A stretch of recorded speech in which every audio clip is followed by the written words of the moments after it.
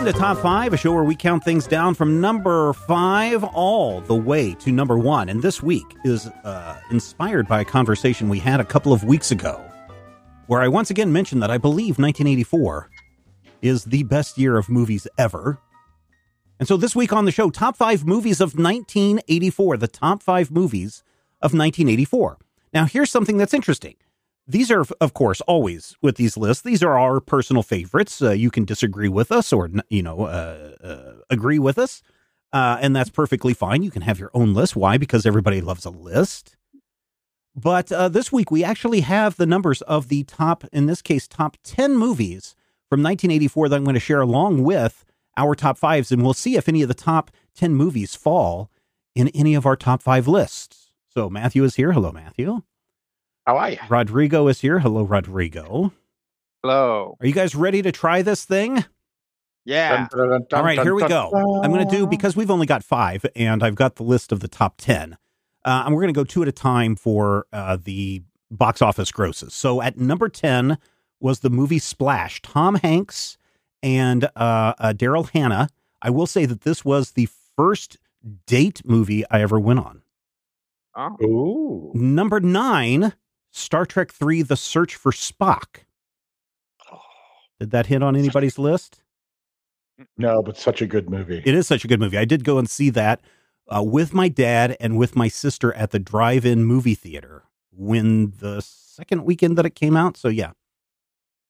All right. So my number five then is a, a movie that I discovered when my dad brought it home on VHS. It was a movie that did not do very well in the box office. And he's like, "Yeah, I got this. You might enjoy it." And I was like, "Oh, okay. Uh, it looks interesting. There's a spaceship on the front and a cool-looking dude." and some other crazy things. And so I started watching it, and it starts off by saying, you know, uh, uh, this guy's parents were scientists and they died in an experiment trying to, you know, cross over into the eighth dimension. And then we learn all about Buckaroo Banzai and the Hong Kong Cavaliers. And I watched that thing with like, what is this crazy, trippy movie that I am being exposed to, a Kansas kid being exposed to, uh, with all this new wave influence and everything that was in it?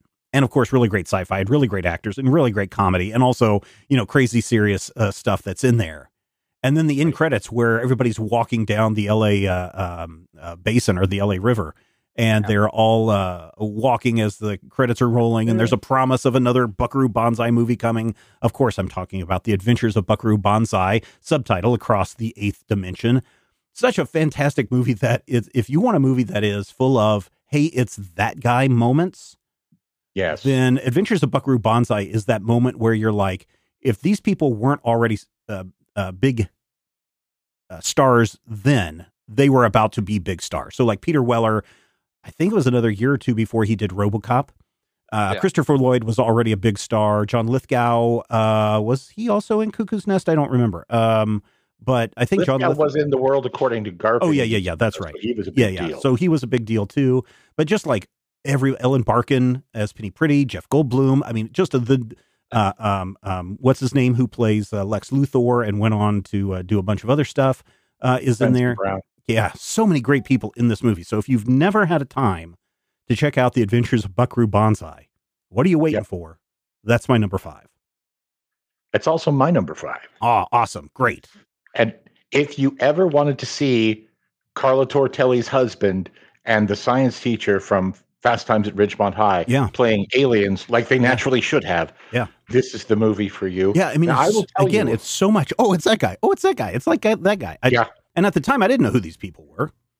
No, and that's why we know them now. But the thing that I always like to keep in mind is I did not see Buckaroo Banzai in 1984. I didn't even see Buckaroo Banzai in the 80s. I did not see this movie until well into college. Why? And I don't know. I don't know why. So I think I- it was I will one of say those this. things where this was one of those movies that if you didn't if you didn't have a dad or somebody just randomly pick this up from the video Mhm. store on a Friday night or something and then bring it home to you, chances are you didn't see it because I don't remember if this ever aired on HBO because I don't remember my uncle ever sending it to me, although it probably did. But uh, this is one of those things that once you found it, if you were part of that in group, you knew it. And me and my friend Mike love this movie. Uh, and Yeah, everybody else just thought it was one of cool, the- so cool kids. See, the thing that got me about it, and it may just have been that at the time, you know, I'm 13 years old. I live in a small town. There's one movie theater. And as you mentioned, 1984 was chock full of movies. There were tons of good movies. And I remember, you know, seeing all of the films in the top 10, which I've heard, and you guys will hear soon. But I had, for some reason, Buckaroo Banzai had never really hit my radar except as such a cool name. The name Buckaroo Mhm, Banzai is just mhm. incredible. Yeah. It is such a perfect name. And by the time I didn't see RoboCop until my senior year of high school, which would have been 88. So I saw RoboCop and I was like, oh, the dude from RoboCop. And somebody said, yeah, he was also Buckaroo Banzai. And I'm like, oh. Um, so, you know, as I mentioned on my Twitter this week, sometimes I'm late to stuff, but when you're late to stuff, it's great because uh, I don't know if you guys remember Otter Disaster, my my college roommate. Sure. His wife loves Buckaroo Banzai oh really? passion, and she, I mean, she lives and dies by this movie. I I, I believe that her hall pass list is just Clancy Brown five times. but yeah, th- this is a movie that is pure. This is built to be a cult movie. Every scene is filled with these moments, and there's these real crazy subtleties involved. And then you have moments where I don't know if you've paid attention, but I it, it occurred to me once at one point where when they're walking through the LA River, which by the way, at the end, that is in fact the Los Angeles River. Mhm. That's what they have that is a river. Perfect Tommy is so perfect that he actually changes clothes while walking down the river. And I think that that some people might call that a continuity error. I call that proof of concept. You're hmm. showing us that Perfect Tommy is perfect because he just changed clothes in 5 seconds off camera. That's how perfect he is. And that's why this movie is my number 5. There you go, Rodrigo. What do you have for your number five? Is it also the Adventures of Buckaroo Banzai: colon across the eighth dimension? It is not. Buckaroo No. Banzai got got pushed out by some other stuff. Uh, Okay. unfortunately, uh, I do I do enjoy Buckaroo Banzai. It's a good movie. It's a it's nice because it feels like when I watched it, I was like, "Is this a sequel to something?" Like Feels like it, it, yeah. it it does. It does have that serialized feel to a movie that only one was made of. Yep. Um, Issue 5 of 6. Yep. so my number five is uh, a scary movie, an action Mm. movie, and a love story all Ooh. rolled up into one. All right. Um, Ooh. and here's where I start sniping your lists. Probably uh, my number five is The Terminator. Oh, the Terminator is my number four, which we'll get to in just a moment. So go ahead. Yeah. So uh, The Terminator is the story of a young woman who uh, is told that her kid is going to be the leader of the future rebellion against the machines. That she's like, nah. And the Terminator shows up, and he's like, um, this Give me movie your is clothes, your bicycle, and $15. yeah, this movie is basically its own genre. Like it is a horror movie, Mhm. sort of, and it is an action movie, but is the sort of like the thing is coming for you. Uh, wasn't all that well trod at that time, right? It's like obviously every Terminator movie has become that, uh, but also other movies like um, Drag Me to Hell or It Mhm. Follows hmm like Yeah. have like you know there's a little bit of terminator in those uh, in those movies too it's a very influential movie uh, if for no other reason that it is immensely quotable Yeah. and Mhm. uh maintains itself in people's uh, sort of pop culture brains so usually if you reference the terminator people will respond to that Yeah, Are this you was Sarah Connor? this is such a great movie when it came out. Again, I ended up seeing it on VHS. It's an R-rated movie. Uh, you know, I'm 13, 14 years old, not allowed to go see R-rated movies. Mom and Dad, little did they know. as soon as I got my driver's license, I was into every R-rated movie there was. Um, but you know, eh, and of course, there's the the sex scene, the gratuitous uh, boobies uh, on the on the, the screen. But There are boobies in Terminator? yeah, yeah, yeah, yeah, yeah, I Uh, did not remember that. yeah, yeah. There's all. Well, how do you think that uh, John Con- Connor is uh, born? Uh, how do you think he got made? Uh, there So had wait, you're saying in order for someone to have children, they first have to show their breasts on they camera? have to they have to get Uh, naked no, on somebody camera. somebody does Yeah. it's just a Oh. prerequisite Yeah, yeah. Got it. Got it. Got it. Uh, you know, this was a this was a James Cameron. So uh, this is my controversial statement for the next five minutes Mhm. because I'm sure I've got more. Sure. Um, this is the best Terminator movie. Okay, I know people No. are going to say no, Terminator Two is the best movie, and you know you can have that opinion, but there's something about 1984, and I've said this before with uh, Star Wars, for example. Uh, 77 is got this very gritty look, but by the time you get to Empire Strikes Back and Return of the Jedi, everything's against this really clean, glossy sheen. And you look at Terminator, and it's also this very gritty movie. James Cameron is is coming at this with a low budget, essentially a low budget at the time. A lot of stop motion special effects. He's coming from um, oh, what's his name? Uh, did the first Fantastic Four movie and all the other cheap uh, cheap movies. Corman? Yeah, yeah, Roger he, Corman. yeah. He worked for Roger Corman. He was uh, in charge of directing, or he took over the directing of the Piranha. Was it three or just the Piranha movie? Everybody got either LSD poisoning or food poisoning, and he had this trippy dream, fever dream, where he dreamed up this movie from that. And you can. That's why it Rodrigo is. It does have that that horror movie sci-fi feel to it, but also has that love story. Again, it, like it, Buckaroo Banzai, it takes place in California, Los Angeles. It's got a lot of new wave aesthetic uh, in it uh, as well, especially with Linda Carter's character, Sarah Connor.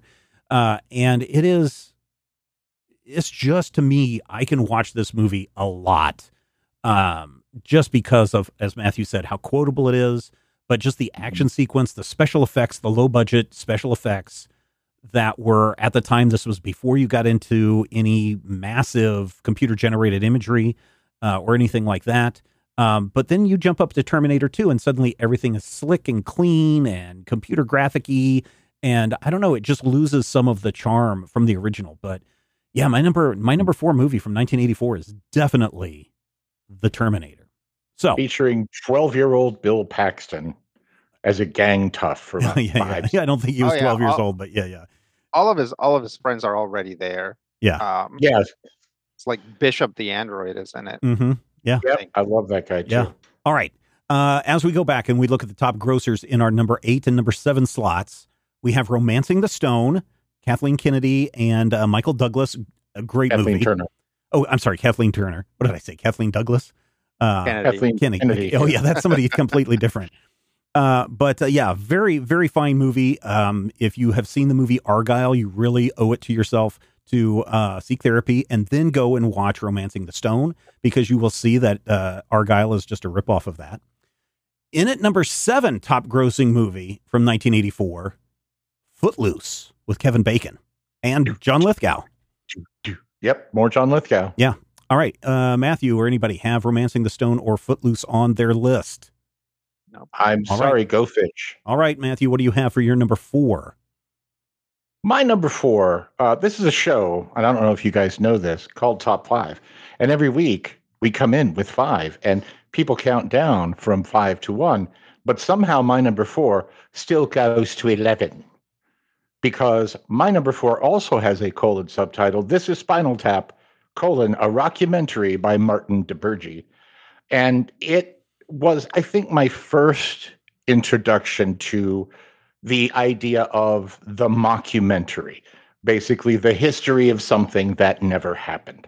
So I'm 12, 13 years old, and my friend, uh, we called him the stork. The stork. Uh, Oh, I thought he was your partly cousin. Called that. No, no, no. My cousin was Elwood. Oh, okay. No, the stork. The stork was named because he was six two in the fifth grade, and also because, like the character from um, Animal from House. uh, Animal House, he might have had brain damage. Wonderful man, great human being. He was a solid, solid fellow, but he showed me this weird Saturday Night Live bit with these three guys, and I'm like, that's that's Lenny and Squiggy guy.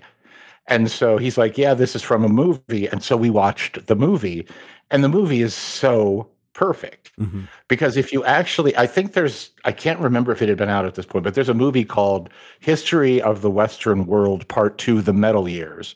And there's an interview with Ozzy Osbourne in that movie that I really feel is, even if it happened afterwards, is the, the heart and soul of Spinal Tap, a band that used to be big, used to be huge, and now are complete losers, but don't know it.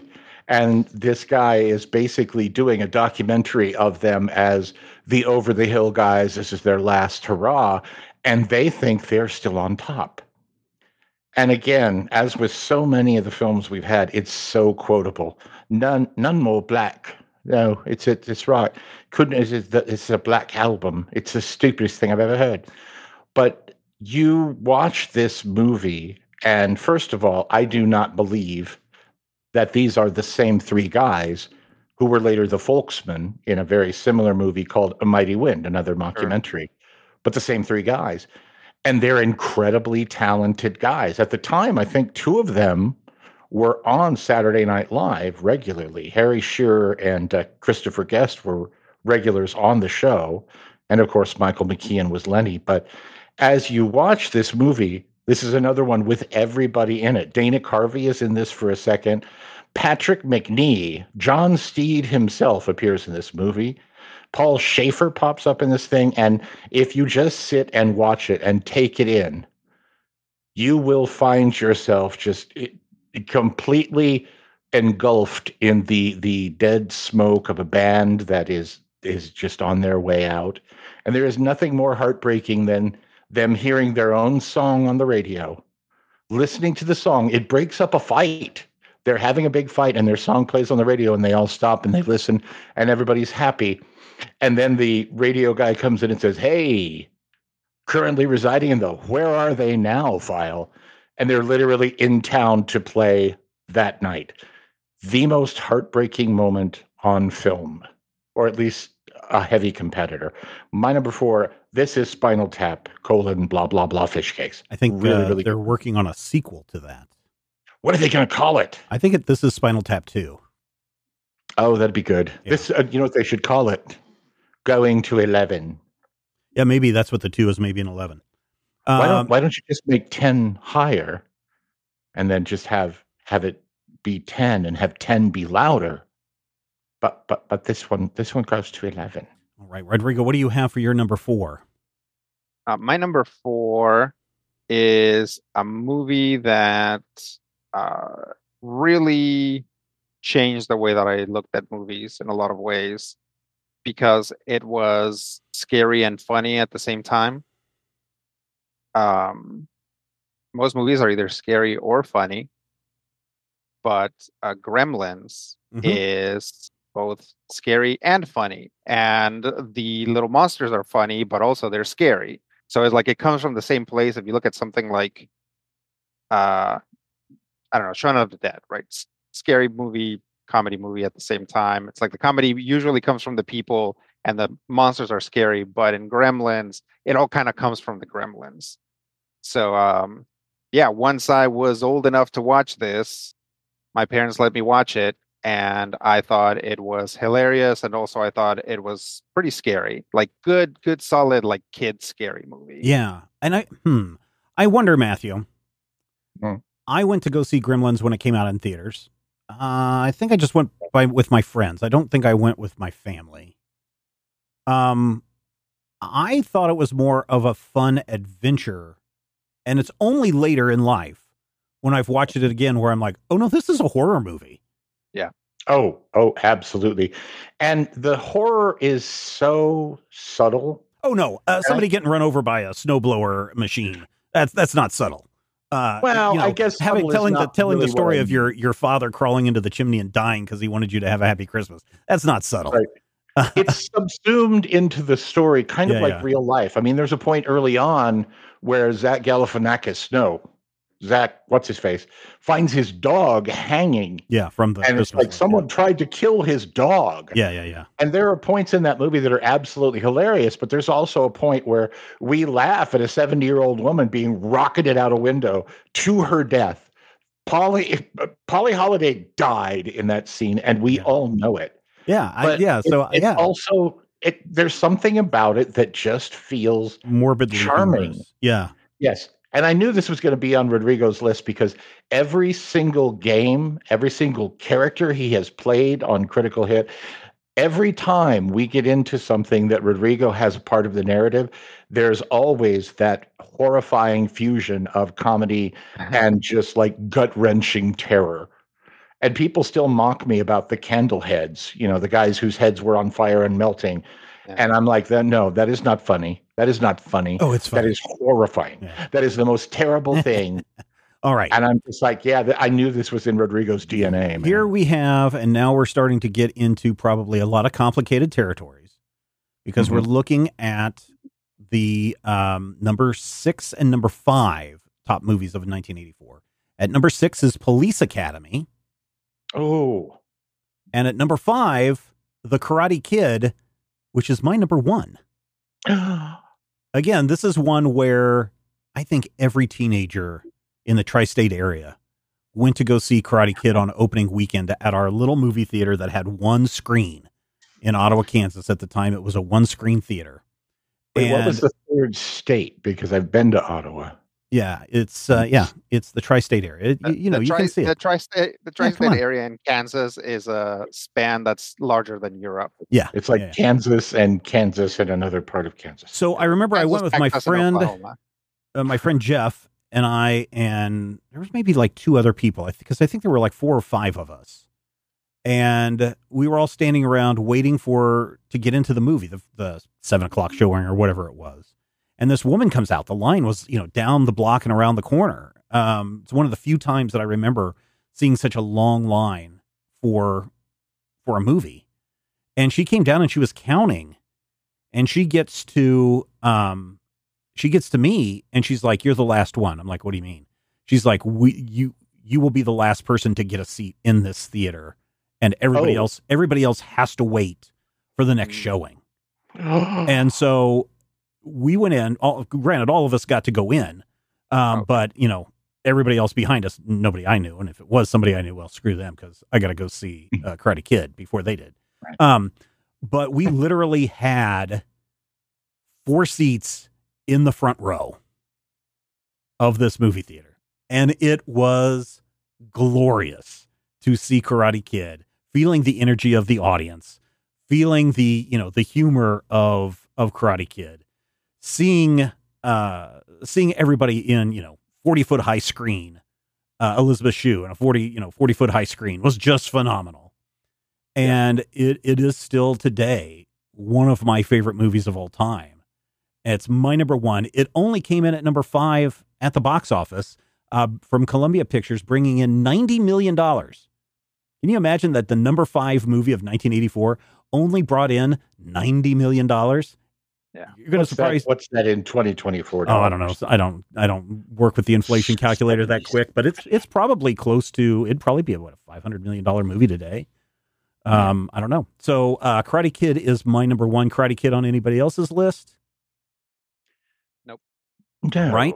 Um, my number three then is Indiana Jones and the Temple of Doom, which is number three on the top five movies in 1984, bringing in 179, double, almost double the pri- uh, uh, the profit of the uh, box office gross of the Karate Kid. Gremlins in at number four, just so you know. Oh. Um, Indiana Jones and the Temple of Doom is one of those where we would try to go. I would try to go see the movie, the first showing on Friday, and what would normally happen is my mom would drop me off at the movie theater. This happened with E.T. This happened with uh, Indiana Jones and the Temple of Doom, and a couple of other movies, where she would drop me off at the movie theater at like four o'clock or five o'clock, and, the, and probably five o'clock, and the movie didn't start until six or seven, and I would just sit there while she went and did errands while everyone lined up behind me. So I'd be like the first or second person in line. And then she would show up, you know, 10 minutes uh, right as soon as the box office opened, and she would just walk right in with me. And then we would wait for the movie to begin. But Indiana Jones and the Temple of Doom is a very, very good movie. Uh, it's not my favorite of the Indiana Jones uh, movies. Uh, Mhm. and I had a chance to watch this again recently. And again, it's one that as a kid, I was enthralled by the action and the adventure and Kate Capshaw and all of the, the, the things that were going on. But watching it again and having read the novelization shortly after the movie came out, this is a very dark movie. I mean, it's certainly, I would think, one of the darkest of the Indiana Jones movies, simply because of the subject matter that's going on, uh, the slavery thing that's going on, the colonialization that's going on, uh, the, you know, especially the enslavement of children to find the uh, other uh, uh, Sankara, Shankara stones or whatever they are. Um, it's it is a darker movie that I didn't expect to see, but at the time I eat that stuff up, and so uh, yeah, um, Indiana Jones and the Temple of Doom, my number three. All right, uh, Matthew, what do you have for your number three? My number three is actually a twofer. Okay, uh, which makes it six. But it's a, maybe the only time that I'm aware of that the film and its sequel, which were not made simultaneously, came out in the same year, like six months apart. Hmm. But it's also on my list for a very important reason. Primarily, my number three is Breakin' 2 Electric Boogaloo. But since Breakin' came out in May of 84, I feel like you kind of treat them as a unit, sort of like, you know, the Peter Jackson films that were broken up into three movies, but you still have to sit and watch them all and you have to spend 16 hours. And the thing about Breakin' and Breakin' 2 that I, I, I feel is very important is it's one of those uh, we call them fad movies. Um, I call them fad movies, and when I say we, it's the Regal we.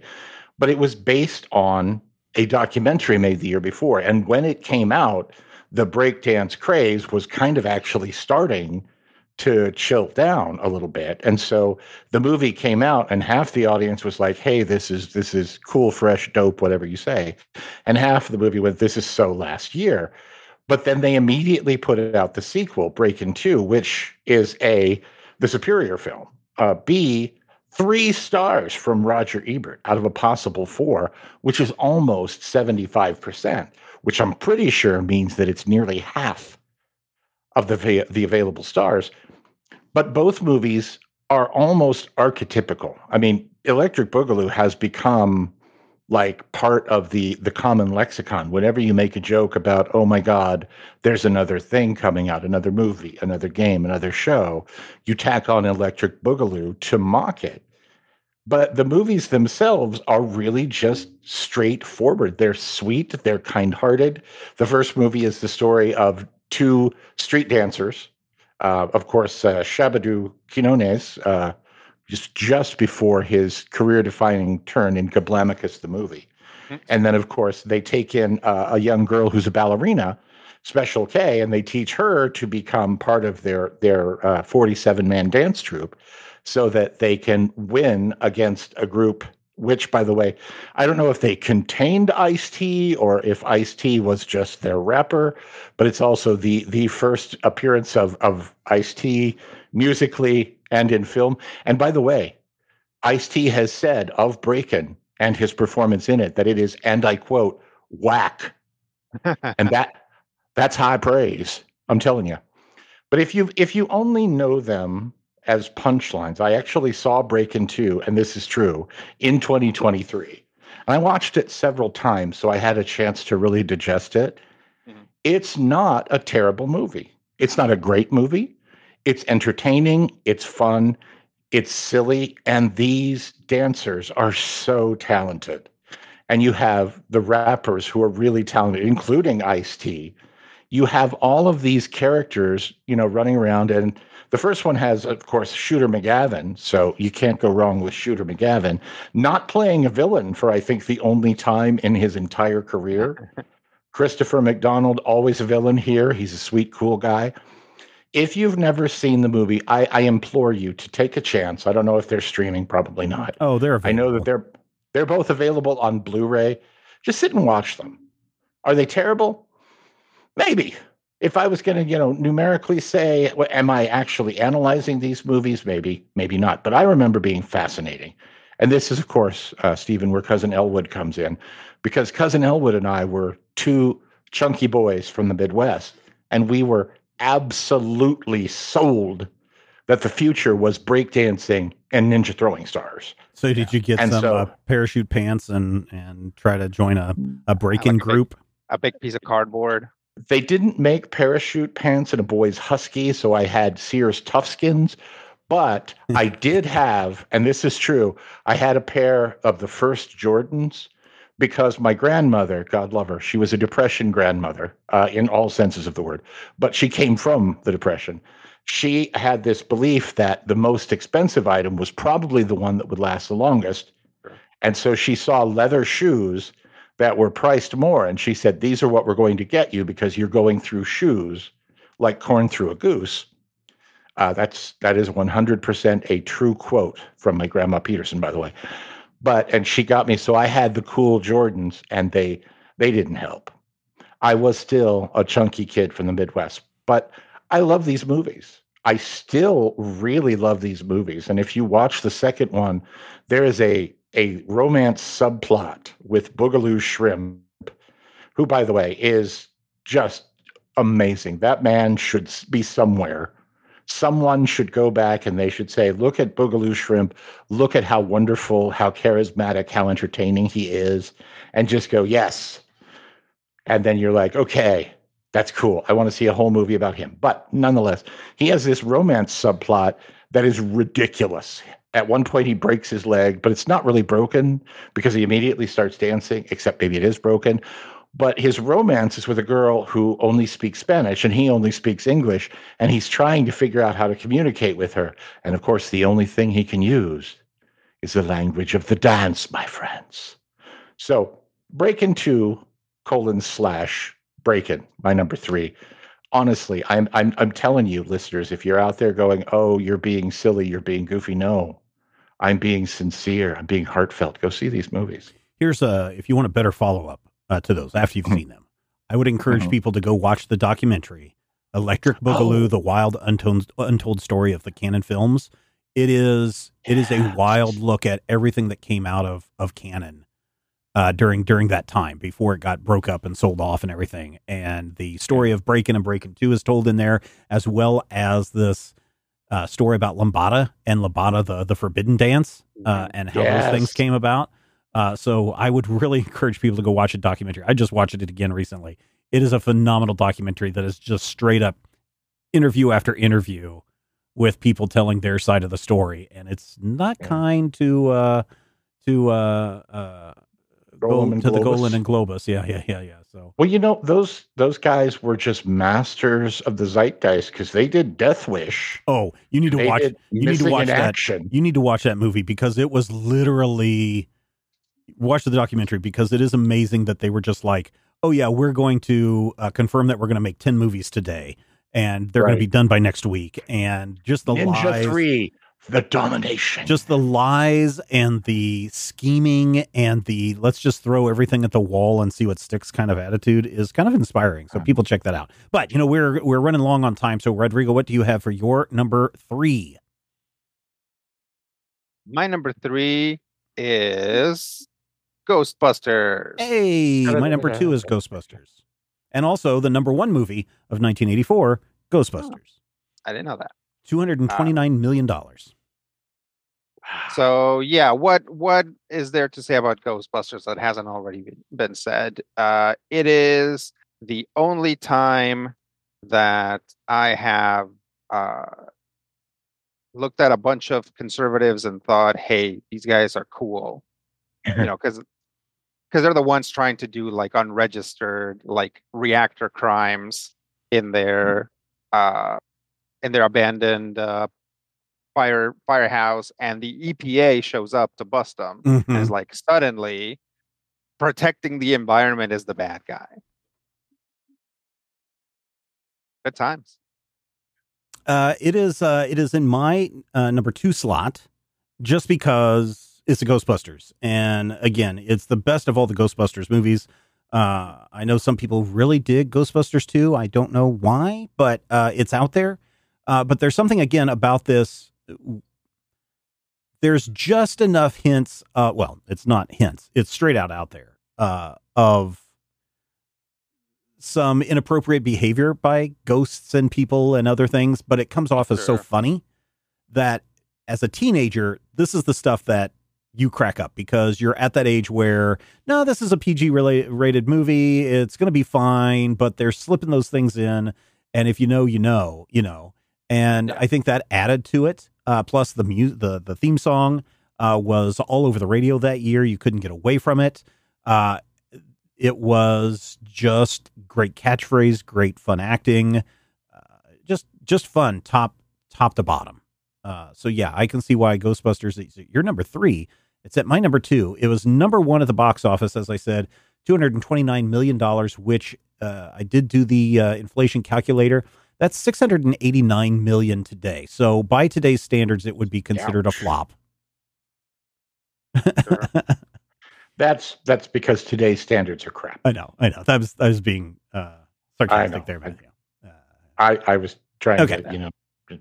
Let's see. So we've done our number three. I just did my number 2 Mhm. and we've um, uh, four and three on the list. I said was Gremlins and Indiana Jones and the Temple of Doom, which we've crossed off our lists. So Matthew, what do you have at your number two? My number two is that rare movie that is the beginning of a massive franchise and also the best of a massive franchise. And by massive, I mean more than five movies. My number two is A Nightmare on Elm Street, the film Mm, debut of one Jonathan Depp. Johnny Depp. He gets murdered Yeah, in the first like thirty minutes. he gets rendered into like chunks and it's horrifying. But Nightmare on Elm Street is an utterly terrifying movie. And I was not old enough to see this movie when I saw it at the drive in. And I may not be old enough to see this movie now, but oh my gosh, it is so good. I want to. I want to introduce my oldest perfect. son, who is now 17, 16? Mhm. I don't know how old he is. Uh, he's seventeen. Got to be seventeen because we're almost wow. eighteen. Uh, and um, and I don't know if if it's appropriate for him to sit down and watch Nightmare on Elm Street just because it is I just so gory and scary and all that stuff. But again, I watched it when I was 14, 15 years old. So look how I turned out. It can't be bad. Was was that your was that your kid who was cracking up at Alien? Yes. Yes. yeah. Oh, they are they are not Yeah. gonna find Nightmare on Elm Street scary. They Okay. are just No, not. this the stuff. well, I mean, they've seen, watch, you know, they watch uh, Chainsaw Facehead Man, and they're Sure. watching uh, the uh, Demon Hunter, X Hunter, and Slayer Box or whatever that they're watching in the anime. So I have a feeling Yeah. Nightmare on Elm Street is going to be fairly tame.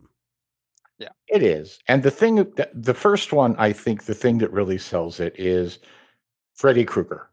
Just I mean, Michael Myers is not necessarily even a character. And if you watch the the uh, Friday the Thirteenth movies, Jason is just a cipher. Doesn't even show up until the second. But I actually saw the remake of A Nightmare on Elm Street from maybe 15 years ago, and it had Rorschach, uh, Jackie Earle, Bad News Bears an incredible actor, just an amazing actor, a really good, couldn't pull it off. He could not pull off Freddy. And it's just, it's Robert Englund. That's the reason why A Nightmare on Elm Street is my number two, why it's an awesome movie. Go watch it right now, be terrified, and don't sleep for a week. All right, Rodrigo, what do you have for your number two?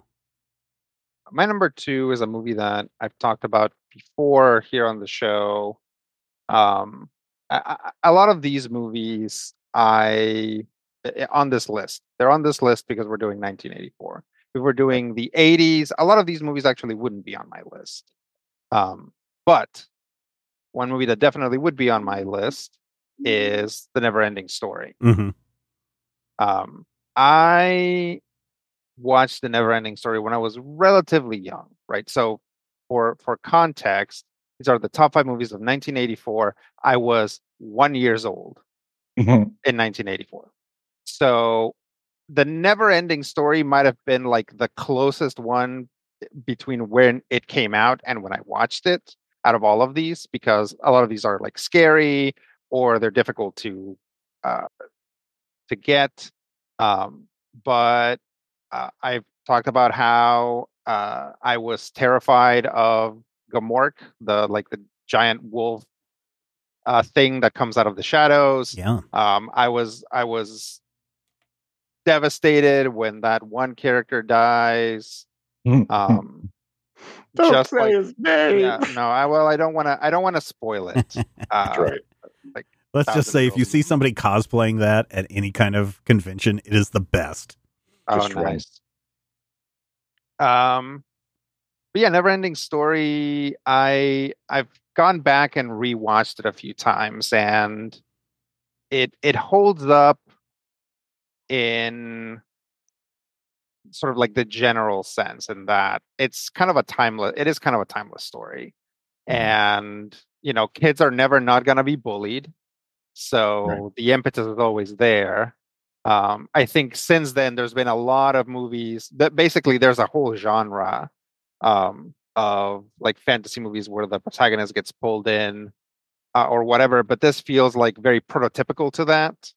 Like without this, we don't get you know uh, I don't know Fushigi Yugi or Inuyasha or uh, that thing where um, the guy gets teleported, where uh, the the baseball player goes to King Arthur's court. I don't know.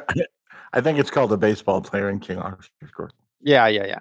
So that one. Um yeah, never ending story. It's uh it's fantastic. And then if you want to turn around and read a horror story, find the um find the statements and the the stories that were written of its production because it was Mm. apparently absolutely harrowing.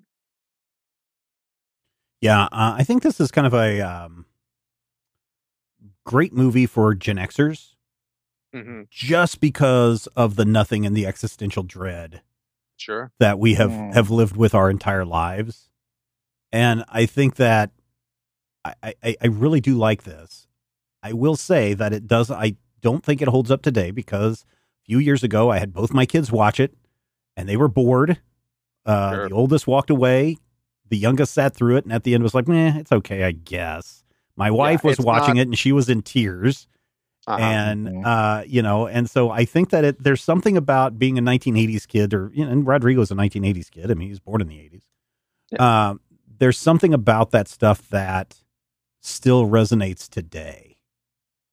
And i don't know if it's about depression or ennui or uh I, I think uh, you know, as you know, kids, like, cosmic kids- horror like quote unquote kids these days. But like when I saw the Never Ending Story, it was, it was already the '90s, right? yeah Like people were already extremely riding skateboards. hmm Like the pacing of the Never Ending Story is very slow. Yeah. So that like repels kids. But when you go back and watch it as an adult, it's beautiful and it's sad and it's bittersweet. And also um, a movie without a like physical bad guy that you can punch, right? It's Mhm. like it's not an evil guy that's doing this. This is like a force. It's like I, honestly, this type of like general like oppression, oppressive like uh, energy wouldn't be repe- repeated until the Croods, which I also recommend. yeah much. yeah yeah yeah yeah, Not a movie from the 80s. yeah no no i know what you're But if you want to, yeah. watch the spiritual successor of the Nothing, watch the Croods. Yeah.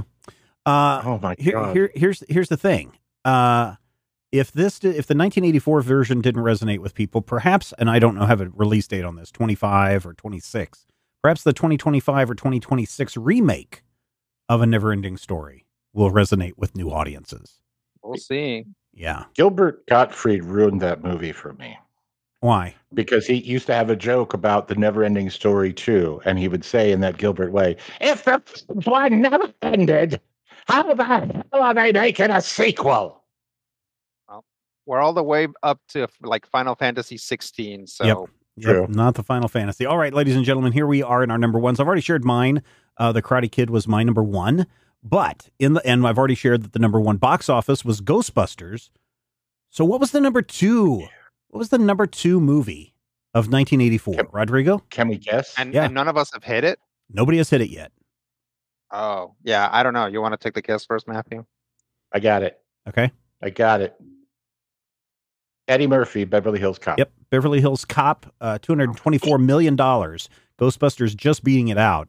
Uh, I did mention this as one of my top five comedies uh, last time we did top five. So that may have been a good uh, tip off there. But yes, Beverly Hills Cop from Paramount Pictures in at number two. Matthew, what is your number one movie from 1984? My number one movie is honestly, and I, I say things on this show that are just dripping in irony. And I say this to you with in absolute truth. It is one of the best first appearances of any actor that I've seen. One of America's greatest modern actors. I am talking about Top Secret, the debut of Val Kilmer as Nick Rivers, a, an Elvis style uh, rock star who ends up in Germany which somehow, even though it is 1984, is also Germany circa 1943. and so it's this bizarre, timeless melange. And he's like, he's literally acting against Omar Sharif and Peter Cushing and Michael Gough, who, you know, I don't know if you know about Michael Gough, but he played Alfred four times for three different Batmans, one of whom was, in fact, Val Yeah. Kilmer but yeah, it is just an amazing movie, and it's it kind of presages his take in the Doors in that he sings throughout this because he's playing a rock star. It it, it, it is a Zucker Abraham Zucker movie, and that can always be questionable because those guys did Airplane, but they also did, I think, uh, like Epic movie, or at least one of them did. I don't know but it's just it's such a perfect film from top to bottom. There is one scene in the movie that is literally recorded backwards but the the trick the joke is that the man that they're t- speaking to is speaking in swedish.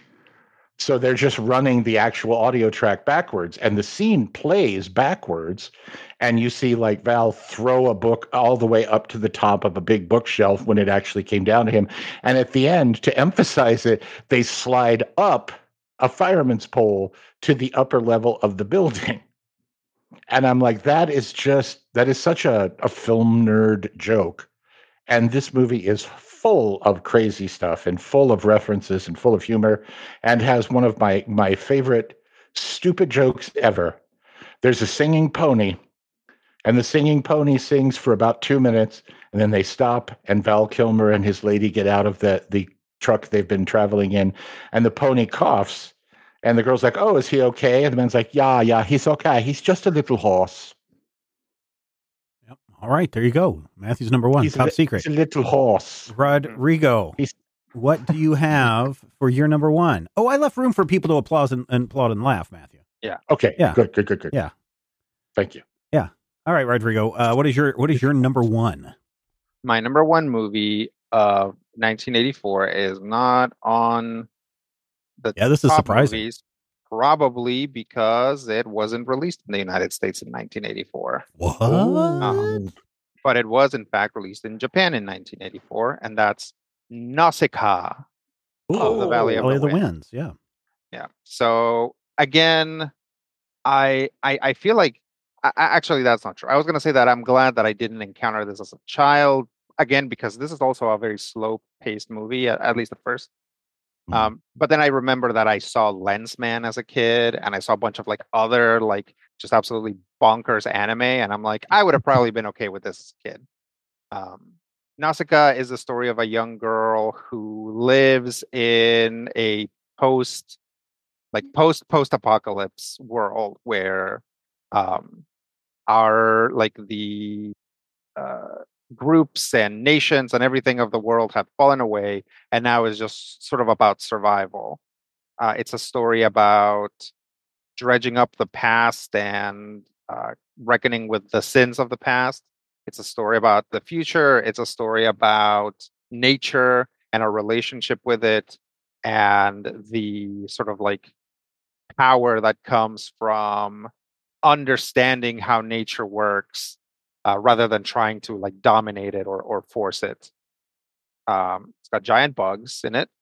And Mhm. also, if you watch the English dub, I want to say Patrick Stewart is is in it, Um, and uh, he said that he that he had a great time because the character that he dubs has a giant mustache, so you can't see his mouth. So unlike all the other actors who had to like awkwardly match the Japanese cadence of the characters' mouths, he didn't have to. Because like the mustache would just move a little bit when that character talked, and he could just say whatever he needed as long as it fit inside the, the mustache motions. So Nice. yeah, it's a good it's a good anecdote. That's Yeah. funny. Very Uh, cool. but yeah, uh, a Studio Ghibli film, and one that I, I feel doesn't get enough uh, Yeah. praise. Um, but it's it's just as good as any of the other ones. Yeah, it's just as good as Princess Mononoke Yep. or um, Spirited um, Away. Castle in Yeah. the Sky, which goes by a different name. Yeah, Yep. all that stuff. It's the So there you go. thing. All right, go, ladies Does and that gentlemen. one have? I can't remember. Does it have an explicit nuclear war? It's, in, Is it's implied. Yeah. So so I at couldn't remember if they implied the- it or not. yeah, close to the end is like the the there's a weapon that they're trying to reignite essentially. And it's like it takes the form of like a giant monster so i think it's more allegorically nuclear war but it has the same effect. Basically it's like you know it's it's you know it's japan. They're like hey what if we had a thing about fighting someone? It's like what if that thing was a robot? It's like Right. oh then yes a thousand percent better. Rubber stamps All right, ladies and gentlemen, there you go. Our top five movies of 1984. What'd you think? How did your list match up? Well, there's one place where you can share your list, and that is in the Major Spoilers Discord server. You can join the Major Spoilers Discord server absolutely free. There's a link in the show notes, and we are waiting to read your lists. Also, if you found value in the show, if you enjoyed the show, if you like the show, if you want to see the show continue, because man, we could do the top five movies of 1985. 1986, Mm. 1987, etc., and so ons. We can only do that with your help and your support, and you be- can become one of our our big fans. We will be big fans of yours, I guess is what I want to say, by becoming a patron today over at patreon.com slash major spoilers. Patreon.com slash major spoilers. A small monthly contribution can help keep this show going far into the future. By far into the future, I mean, you know, at least next year. Uh, so there you go. Head over to uh, the Discord server, share your list. Why? Because everybody loves a list.